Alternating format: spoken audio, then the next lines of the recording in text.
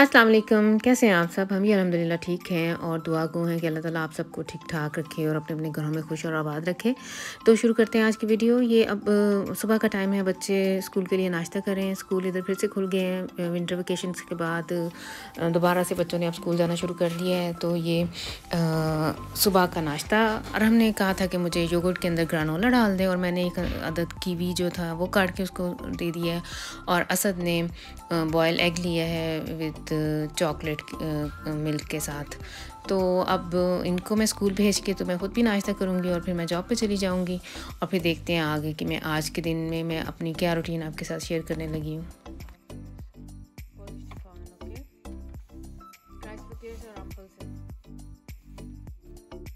तो जॉब से वापस आकर रेस्ट करने के बाद अब मैं इस टाइम सिटी में आई हूँ अपने तो ये देखें जो आइस स्केटिंग फ्लोर था, उसको वो फिर से अप डाउन कर रहे हैं, यानी उखेड़ रहे हैं।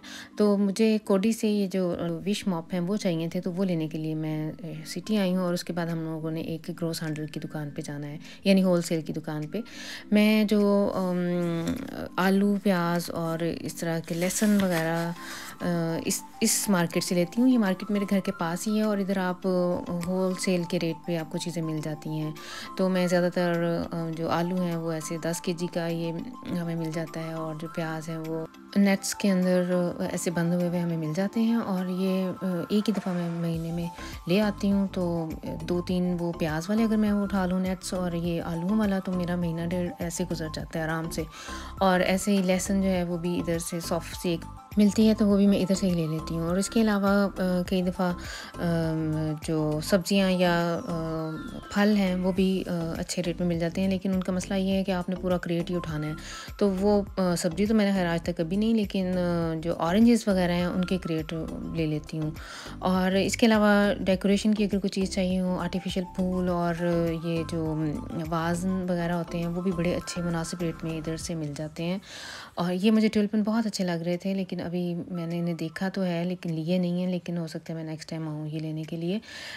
जब भी मैं इस मार्केट में आऊँ ज़्यादातर वैसे मैं आती हूँ इधर धनिया लेने के लिए। इधर से जो हमारा हरा धनिया है वो कोरिएंडर वो बहुत अच्छा और फ्रेश और बड़े मुनासिब रेट्स पे इधर से मिल जाता है लेकिन शार आज मुझे नहीं मिला। आ, मेरे घर में वो ख़त्म था। मैं पिछले अपने कई दिनों से हरा धनिया की बजाय मेथी डाल रही हूँ खानों में लेकिन इधर से मुझे आज धनिया नहीं मिला। और ये मूली मैंने ले ली है। एक मेरे हस्बैंड कई दिनों से कह रहे थे कि सर्दियाँ ख़त्म होने वाली हैं और तूने अभी तक हमें मूली वाले पराठे नहीं बना के दिए। तो इस दफ़ा, पता नहीं है, शायद मुझे नहीं इतफाक़ हुआ। लिडल या अल्डी वगैरह पे मैंने मूली देखी नहीं है। या हो सकता है मैं जब जाती हूँ तो वो ख़त्म हो जाती हैं, लेकिन वाकई मैंने नहीं देखी है मूली तो इधर से मुझे ये मिल गई है। तो अब नेक्स्ट किसी दिन अब इन्हें मैंने ये मूली वाले पराठे भी बना के देने हैं। तो समी के आज पीरियड्स पहले दो थे, बाद में इसका सारा दिन फ्री है तो ये भी आज हमारे साथ ही घूम रहा है। जाता तो नहीं है शौक से, लेकिन जब इस तरह की वज़नी चीज़ें लेनी हो तो मैं इसे साथ लेके जाती हूँ। अब मेरे से नहीं इतना वज़न उठाया जाता। तो हम लोगों ने ये चीज़ें ले ली हैं और अब मैं घर आ गई हूँ और घर आके मैंने अभी बच्चों के लिए कुछ नहीं पकाया हुआ। समी ने सॉरी असद ने और अरहम ने अभी स्कूल से आना है और समी ने भी अभी तक कुछ नहीं खाया तो अभी बाद में मैंने इनके लिए खाना बनाना है। तो ये देखें, यहाँ से गुजरते हुए मेरी मेरी नज़र आसमान पर पड़ी है तो कितना ज़बरदस्त सीन था इस टाइम तो फिर मैंने एक दो क्लिप बना ली हैं। तो ये खेत हमारे घर के बिल्कुल पास हैं। इन खेतों से एक गली पीछे कह लें कि हम लोग रहते हैं और थोड़ा सा चल के जाएँ तो सामने खेत नज़र आ जाते हैं। तो अब घर आके मैंने जो आलू अभी लेके आई थी, वो मैंने अब बॉयल होने के लिए रख दी हैं। बच्चों के लिए मैंने अब खाना बनाना है। आज मैं इनके लिए फ़िश टेप्चिन बनाऊँगी और ये साथ स्टम खटाफल और साथ में स्पीगल आई बना के दूँगी। कभी कभी मैं इन्हें पालक के साथ ये सारा कुछ बना के देती हूँ और आज मैंने इन्हें फ्राई हुए अंडों के साथ ये बनाना है। और ये मैंने आते ही मसूर की दाल, आज मेरा कोई दिल नहीं था इतना कोई ज़्यादा जिसको टाइम लगे वो खाना बनाने को तो मैंने मसूर की दाल चढ़ा दी है। तो ये आलू गल गए हैं तो इसके अंदर मैंने मक्खन डाल दिया है, नमक और काली मिर्च डालनी है और ये दूध डाल के तो मैंने इनको अच्छी तरह से आलू आलूओं को मैश कर लेना है। तो इस तरह से जब ये थोड़ी सी इस तरह, इस फॉर्म में आ जाएँगे, थिक हो जाएँगे तो इसका मतलब है ये रेडी है। और इसके अलावा मैंने अब एक पैन ले लिया है, उसके अंदर मैंने ये रेडीमेड ही हमें ये फ़िश फिंगर फ़िश कह लें या फ़िश टेपचियन हम इधर कहते हैं, इन्हें ये मिलती हैं। तो इन्हें मैंने सिर्फ़ अब फ्राई करना है। ये नॉर्मल नीचे फ़िश है और ऊपर इसके ऊपर कोटिंग हुई हुई है।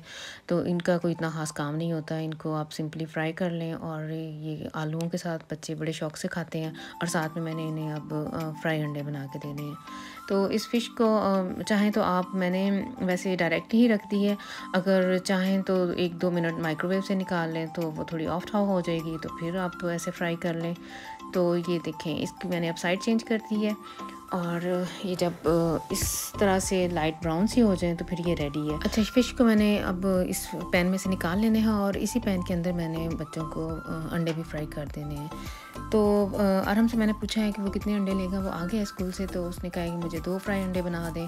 तो ये इस टाइम मैंने आराम के लिए ये प्लेट रेडी कर दी है। नीचे मैंने वो स्टम्प कटोफल डाल लें ऊपर दो अंडे और साथ में उसने ये फ़िश ली है। और बच्चे चाहें तो इसके ऊपर अरहम जो है वो मागी सॉस डाल के तो वो खाएगा। चाहें तो केचप और मायो के साथ भी इसे खा सकते हैं, लेकिन इसे वैसे भी, ऐसे भी अगर खाई जाए तो बहुत मज़े की लगती है। तो ये वाली प्लेट मैंने अब असद के लिए रेडी कर दी है और समी के लिए भी मैंने प्लेट बना के रख दी है। अंडे मैंने जब ये आते हैं तो तब ताज़े ताज़े बना के देती हूँ।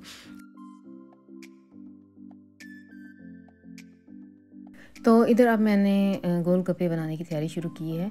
मैंने आलू बॉयल होने के लिए रख दिए हैं और ये पैकेट गोलगप्पों का मुझे एशियन दुकान से मिला था तो मैंने उठा लिया हमारे घर में सभी को माशाल्लाह से इस तरह की चीज़ें जो कभी, हालाँकि इन बच्चों ने ये पाकिस्तान कभी कभार ही जाते हैं और लेकिन इन सबको ये इस तरह की चटपटी चीज़ें बहुत पसंद है। वजह शायद यही हो सकती है कि मैं अक्सर बनाती रहती हूँ घर में हमारे, जब से ये छोटे छोटे से थे तो ये इस तरह की चटपटी चीज़ें मुझे खुद पसंद है, मेरे हस्बैंड को बहुत पसंद है। हम अक्सर, मैं बनाती रहती हूँ तो इसलिए इनका टेस्ट इनका डेवलप हुआ हुआ है। तो इस टाइम मैं अब ये खट्टा बना रही हूँ, इसके लिए मैंने इमली को ऐसे ही हाथों की मदद से मसल लिया पानी के अंदर और इसके अंदर नमक थोड़ा सा, क्योंकि इस इमली में पहले से नमक था और लाल मिर्च और चीनी का एक बड़ा चम्मच, यानी खाने वाला चम्मच और ज़ीरा पाउडर डाला है और मैंने पुदीना काट के डाल दिया है। तो खट्टा मेरा रेडी हो गया है और अब मैं इधर जो गोलगप्पों की फिलिंग है वो रेडी कर रही हूँ। इसके लिए मैंने ये डिब्बे वाले ही चने लिए हैं और इसके अंदर ये जो लाल प्याज है, जो सैलड में मैं यूज़ करती हूँ, वो मैंने थोड़ा बहुत बारीक नहीं काटना, बहुत मोटा भी नहीं, दरमियाना सा काट के और पुदीना डाला है और अब मैंने इसके अंदर आलू डाल दिए और बाद में मैंने अभी इसके अंदर मसाले भी डालने। मसालों में मैंने लाल मिर्च कुटी भी डाली थी, ज़ीरा पाउडर डाला था, नमक डाला था और चाट मसाला थोड़ा सा डाल के तो मैंने वो इसको ये जो फिलिंग थी ये भी रेडी करके रख ली थी। तो अब मैं इनको गोल गप्पों को फ्राई करने लगी हूँ। और वो पीछे वाली जो आपको देखची नज़र आ रही है, उसमें मैं थोड़े से चावल बॉयल करने लगी हूँ, दाल के साथ अगर किसी ने खाने हुए बाद में तो ये साथ ही अब मैंने गोलगप्पे फ्राई करना शुरू कर दिए हैं। गोलगप्पे फ्राई करने के लिए मैंने एक बड़ी कढ़ाई ली है, जिसका मुँह थोड़ा सा खुला हो और उसके अंदर मैंने तेल को गर्म कर लिया है और एक एक करके तो ये मैंने अब डालती गई हूँ। लेकिन ये बहुत अच्छे थे गोलगप्पे। ये वॉइस ऑफ़ तो अब मैं बाद में कर रही हूँ तो इसलिए मैं आपको बता सकती हूँ कि बहुत मज़ेदार थे। और एक बहुत जल्दी फ्राई हुए थे और ये नहीं है कि इनमें से सारे के सारे फूले थे, ये नहीं था कि एक दो फूले और एक दो नहीं, सभी के सभी सारे अच्छी तरह से फूले थे। मैं वैसे जो घर में ख़ुद से बनाती हूँ वो सूजी हल्के से नीम गर्म पानी में गूंद के और नमक के साथ उसे गूंद लेती हूँ और फिर उसकी, लेकिन वो बहुत काम है। पहले आपने रोटी बेलनी है, फिर उनकी गोलगप्पों के अंदर से कटिंग करनी है, फिर उन्हें फ्राई करना है। लेकिन ये जो रेडीमेड है, ये मुझे बड़ा आसान सा काम लगा है।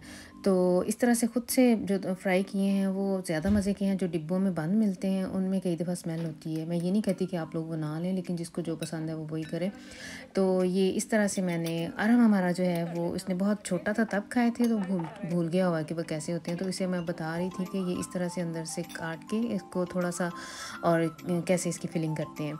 तो जो गोलगप्पे फूले नहीं थे, वो मैंने उनको फ्राई करके तो वो मैंने जो फिलिंग बनाई है, उसके अंदर डाल दी है। एक तरह से कह लें कि वो पापड़ी सी बन गई थी, उसको मैंने क्रश कर लिया था और आलूओं की फिलिंग के अंदर डाल दिया था।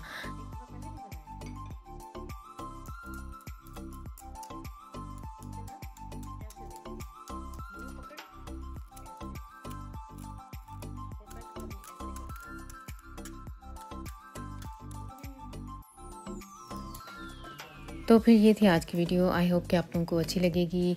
इसे लाइक और शेयर ज़रूर कीजिएगा। और जिन लोगों ने अभी तक मुझे सब्सक्राइब नहीं किया तो वो ज़रूर कर लें ताकि जो मेरी नई आने वाली वीडियो है, वो सबसे पहले उन्हें मिले। और ये बिल्कुल फ्री ऑफ़ कॉस्ट है। तो इसके साथ ही नेक्स्ट टाइम तक के लिए फिर मुझे दें इजाज़त। अल्लाह हाफिज़।